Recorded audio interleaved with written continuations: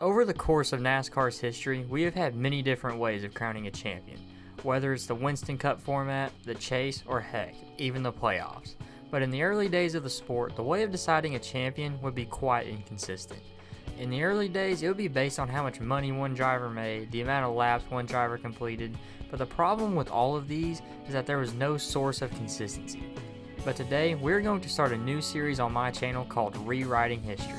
This will be a series where I break down every season from 1949 to 1974 and give the series a legitimate format. This will basically be the Latford point system, or better known as the Winston Cup format, but with a twist. First place will still get 175 points and count down by 5 until 6th, which gets 150 points. Then count down by 4 until you get to 11th, which gets 130 points. Then count down by 3 until you get to 25th, which gets 88 points. Then count down by 2 until you get to 54th, which gets 30 points. And finally, count down by 1 until you get down to 83rd, which will receive 1 point. Also, there will still be points for leading laps. This is done to accommodate for the larger field sizes back in the early days. To lay out some ground rules, to be counted for the season, I will be using what is known as the Kyle Busch rule. This is where you have to run 70% of the real life champions races in that given season. Now you may be asking why 70%? Because Kyle Busch won the championship in 2015 despite running only 25 of 36 races. In other words, around 70% of the schedule. So with all that out of the way, let's get into it.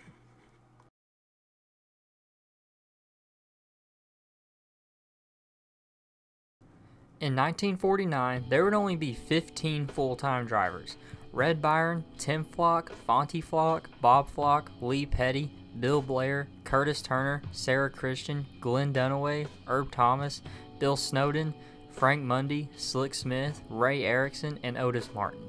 In the opening four races of the inaugural season, there would be three full-time winners. Red Byron would take the win at Daytona Beach, with Bob Flock taking the win at Hillsborough and Curtis Turner taking race 4 at Langhorne. So already halfway through the season, Red Byron would have the points lead over Bill Blair, Tim Flock, and Bob Flock.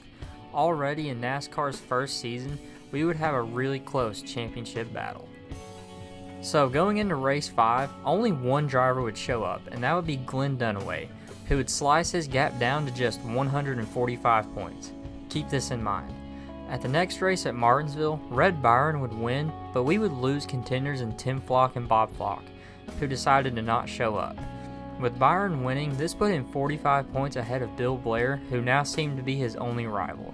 But neither driver would participate in the next race at Pittsburgh, and this would have major implications. Lee Petty and Glenn Dunaway would both show up, and Lee Petty would win the race and would cut the gap from 231 points to just 46 points and was now in contention for the title. And Glenn Dunaway, despite having a mediocre 18th place finish, would cut his gap from 184 points to 75 points. Going into the final race, we would have had a four way title fight in NASCAR's inaugural season, but Red Byron had to finish 8th or better in order to clinch the championship. But in the final race of the season at North Wilkesboro, Red Byron would have an abysmal race, finishing in 16th, while third place in the standings, Lee Petty, would go on to finish in second. This would be enough for Lee Petty to claim the championship by 9 points over Red Byron, and he would rewrite history as being the champion in NASCAR's inaugural season and not Red Byron. So already, there would be some major changes. Lee Petty would claim title number one in NASCAR's inaugural season, and Red Byron would just kind of be an afterthought. And with history already being rewritten, who knows what else could change over the next 25 years. So, for all the 12 people always watching my videos, Y'all want anything from the gas station? and wondering where I've been, well, I just graduated high school and I've also just been trying to figure some stuff out. I tried making another short one off video like I did with Kyle Larson in the comeback story, but I tried making a video on the 2021 F1 season. But after seeing the comeback video have mixed results, I decided against it and just decided to take some time for myself. But now I'm back and with a new series that will hopefully propel us past that 1,000 subscriber mark. Thank you to those who have been supportive, and I look forward to bringing you guys new content. Anyways, thanks for watching. I'll see you next week for the 1950 season.